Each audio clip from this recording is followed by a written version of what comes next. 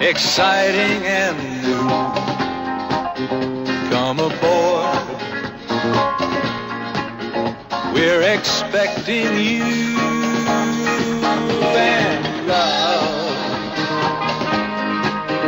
Life's sweetest reward.